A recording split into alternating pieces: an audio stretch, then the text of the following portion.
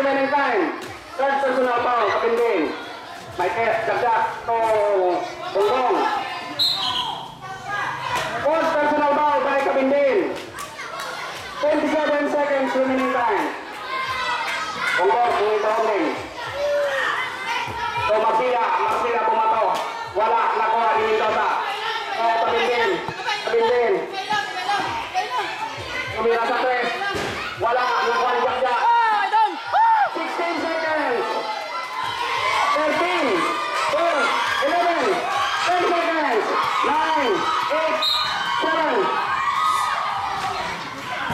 Sultan Sultan Sultan Sultan Sultan Sultan Sultan Sultan Sultan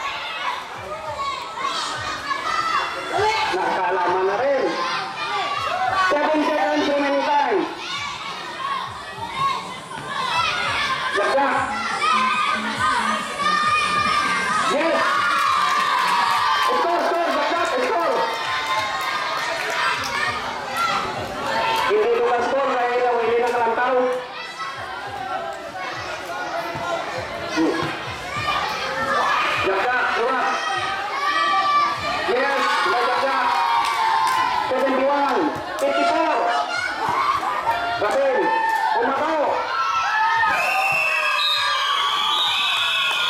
Congratulations sa nag-champion!